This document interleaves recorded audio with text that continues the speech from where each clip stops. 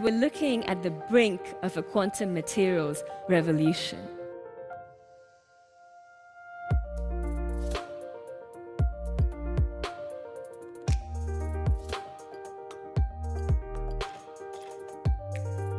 It's about what science can do and what society can become.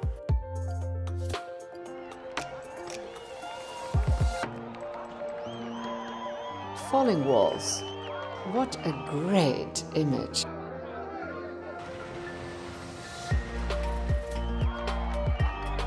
Overall, I think it's a huge message of hope. Here, you can do things in five minutes that otherwise would take months because you have everybody here. And this is why I'm back every year. If you do science, you discover that uh, the world is wonderful and uh, you learn to discover these beautiful things. It's really one of the foremost science events, I think, globally.